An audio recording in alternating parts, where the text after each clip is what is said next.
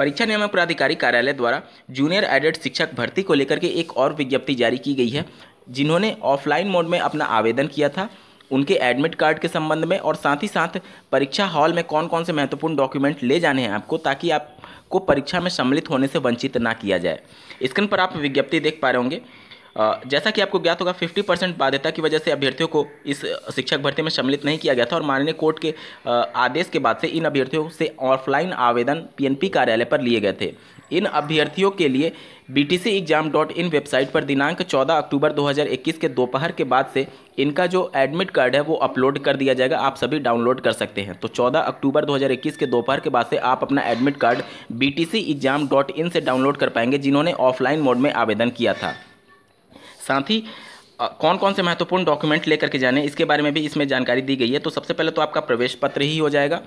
दूसरा, आप अपना प्रशिक्षण का मूल प्रमाण पत्र लेकर जाएँगे, ठीक है? यानी कि बीएड हो गया या फिर बीटीसी हो गया, उसका जो सर्टिफिकेट होता है ओरिजिनल आपको लेकर के जाना है। या, प्रशिक्षण योग्यता के अंतिम सेमेस्टर की निर्गत अंक प्रति की मूल प्रति कहने का मतलब कि आपका अंतिम सेमेस्टर डीएलएड के कंडीशन में और बीएड के कंडीशन में अंतिम वर्ष का ओरिजिनल मार्कशीट लेकर के जाना है। इसके बिना आपको परीक्षा में सम्मिलित नहीं होने दिया जाएगा। या उच्च प्राथमिक स्तर का यूपी टेट या फिर सी टेट का ओरिजिनल सर्टिफिकेट आपको लेकर के जाना है। ये तीनों या या में था। मतलब कहने का मतलब तीनों में से कोई भी एक डॉक्यूमेंट आपको लेकर के जाना है, प्रवेश पत्र लेकर के जाना है और एक फ़ोटो आईडी प्रूफ जो कि आवेदन में आपने लगाया था, वो लेकर के जाना है।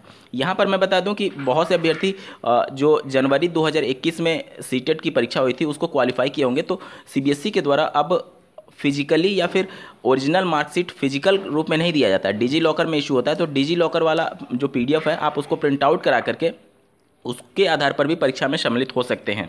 कोई भी समस्या नहीं होगी, आप उसके आधार पर परीक्षा में सम्मिलित हो पाएँगे। जूनियर एडेड शिक्षक भर्ती में बहुत से अभ्यर्थियों का आवेदन निरस्त कर दिया गया है बिना किसी सूचना के।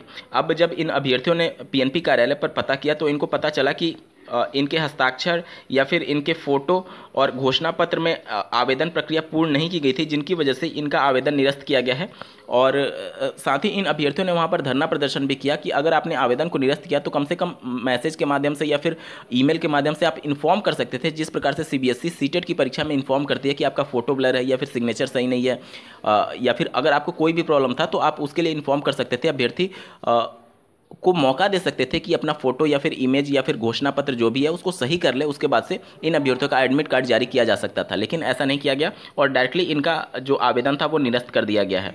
साथ ही, इसमें ऐसे अभ्यर्थियों की संख्या बहुत ज़्यादा है जो कि ऑफलाइन मोड में आवेदन किए थे। तो इन अभ्यर्थियों का भी एडमिट कार्ड जारी नहीं किया जाएगा, जिनका इन सभी चीज़ों में प्रॉब्लम था। और जिन्होंने लगभग बाईस सौ तेईस अभ्यर्थियों ने ऑफलाइन मोड में आवेदन किया था तो उन सबके लिए एडमिट कार्ड 14 अक्टूबर के दोपहर के बाद से B exam dot in website पर जारी कर दिया जाएगा। आप ऑनलाइन अपना एडमिट कार्ड डाउनलोड कर पाएँगे। उम्मीद करता हूँ आप सभी को ये अपडेट पसंद आई होगी। ऐसे ही महत्वपूर्ण अपडेट के लिए इस चैनल को सब्सक्राइब करना ना भूलें। इस वीडियो को देखने के लिए आपका बहुत बहुत धन्यवाद। भगवान करिए आपका दिन शुभ